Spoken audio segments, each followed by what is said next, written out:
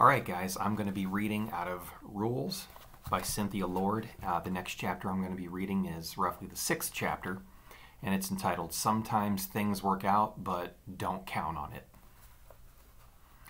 On Saturday, I find Mom in the kitchen pressing raw hamburger into patties.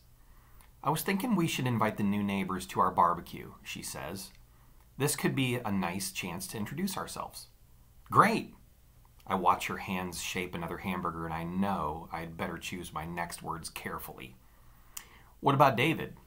What about him? Well, sometimes he forgets the rule about chewing with his mouth closed, or he drinks from somebody else's soda, or. They live next door, Catherine. Mom looks over the top of her glasses at me. You can't pretend that he doesn't exist. I trace a line on the linoleum with my toe.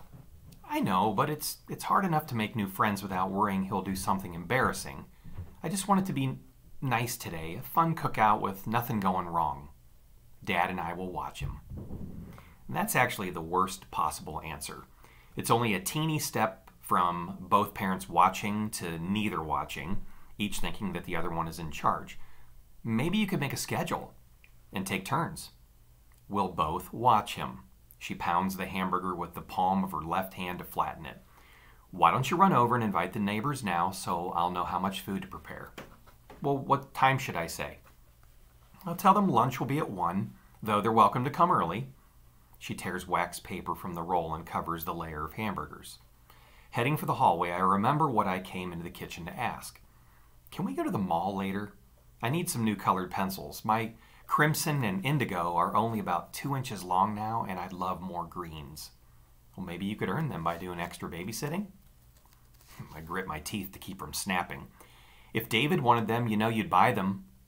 But there's no point because I already know her answer. Well, that's different. And she's right. It is different, and here's how. Everyone expects a tiny bit from him and a huge lot from me. In the hallway, I bounce between worrying things could go wrong, like what if David spills something on his shorts and takes them off in front of everybody, and hoping things go right, like the girl next door might really like me. Before I open the front door, I close my eyes and I wish. Just this once. Let it be easy. Outside, Dad is pitching a tennis ball to David on the front lawn. Here it comes! David swings too late and the ball thumps against the side of the porch. All done? Let's watch TV. Like I said, you have to try 10 times before you can watch TV. Dad picks another tennis ball from the pile on the grass at his feet. We have five balls left. Catherine, tell him when to swing. David and I sigh together. He lifts the plastic bat and moves his feet apart. Feet apart. Swing! I yell as the ball comes close. David misses anyway. You need a bigger ball, I tell Dad. He'd have a better chance. Well, it'd help if we had a catcher, he replies. You want to play? I look across the fence pickets to the woman in her lawn chair reading. No thanks. Mom said I could invite the uh, family next door to our cookout, and she's waiting to hear if they're coming. Dad bends to grab the next ball from the pile. And you'll be in charge of David. It's only half the truth, but if Dad thinks he's in charge, he won't wait for Mom to do something. All right, he says. Elbows up.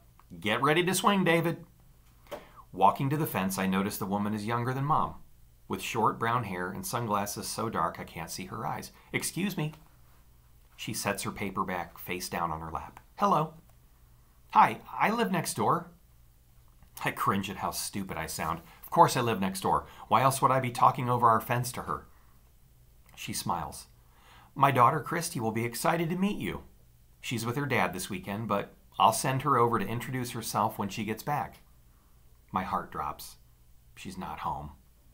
That'd be great. My mom was wondering, and then David shrieks. I turn to see the plastic bat flying through the air David runs in a tight circle, flailing his arms, his mouth wide in another ear piercing howl. As mom dashes down the porch steps, dad calls to her, It's all right. It's just a bee. I can't see our new neighbor's eyes behind her sunglasses, but her lips aren't smiling. I want to sink behind the fence and hide, but it wouldn't do any good. She'd still see me between the slats. Oh, look at the time, I say, checking my watch. Sorry, gotta go. Bye, the woman says. I'll tell Christy that you stopped over. Hurrying for the house, I pass Mom sitting cross legged on the grass with David thrashing in her arms. David's so big he doesn't fit on Mom's lap anymore, and they look twisted, an awkward tangle of elbows and knees, arms, and legs. Dad picks up the plastic bat. Don't baby him, he says to Mom. The bee didn't even land on him. His back already to her, Dad doesn't see Mom's lowered eyebrows. He can't help being afraid, she snaps. Why can't you comfort him? It shouldn't always have to be me. Well, you're the one who ran out of the house, Dad shoots back.